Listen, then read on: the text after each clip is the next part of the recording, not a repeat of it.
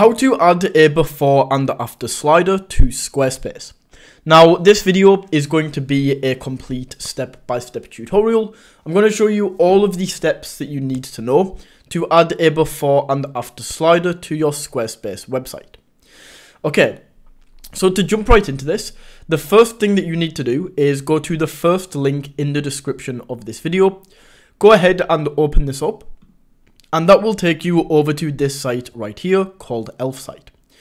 Now, Elfsight is a really fantastic tool and software that basically allows us to get access to different tools and different widgets that we wouldn't usually be able to get access to with Squarespace. And this is what we are going to be using to get the before and after slider. Now, Something super cool about Elfsight is that you can sign up for free.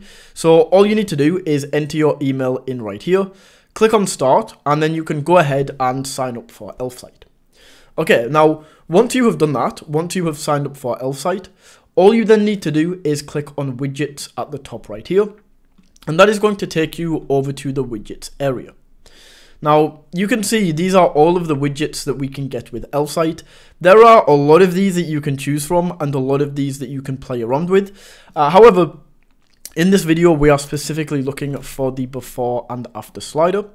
So just type in before into the search box, and then we can go for the before and after slider. As soon as we click on this, it's going to give us a few templates to choose from. So just go ahead and choose one of these templates. I'm going to go with this one. And then we can add the images in right here. And um, also, I would make sure that the image size, this is just like a quick example from two images that I saved from Google. Make sure the image size is correct. Otherwise, it's going to turn out like this turned out, where, where the image doesn't exactly fit. So this is like meant to show his hair, but as you can see, because the image size isn't the same, so make sure that the image size actually fits. Okay, now, once you have the two images in right there, what we can then do is go to add website for free. And as you can see, this is going to save the widget. Now, from here, it's just going to give us a quick example of how this looks once again. If you're happy with this, click on publish in the top right corner and then it's going to ask you to choose a plan. Now, the plan that you go for depends on how many monthly website views you currently get. So as you can see, like 150,000, you would go for the $20 one. 50,000 you would go for the $10 and so on. Now if you want to just test Elfsight to see how it works, then you can go for this free plan as well.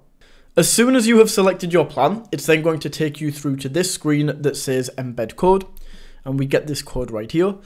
All we have to do is simply copy the code from this green button, go back over to Squarespace, and then we are going to add this in. So choose whereabouts on the website you want to add this, and then we can add a section.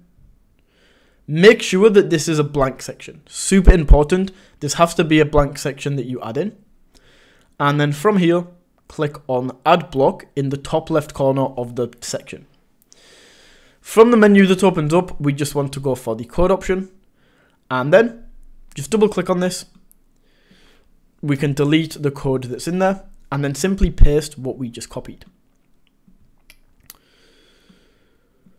Now, you may get this that says script disabled. And the reason that we get this is because we are in edit mode on Squarespace.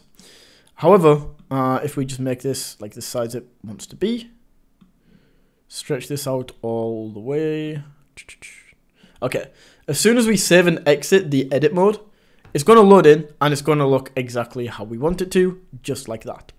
Now that is how you can add a before and after slider to your Squarespace website.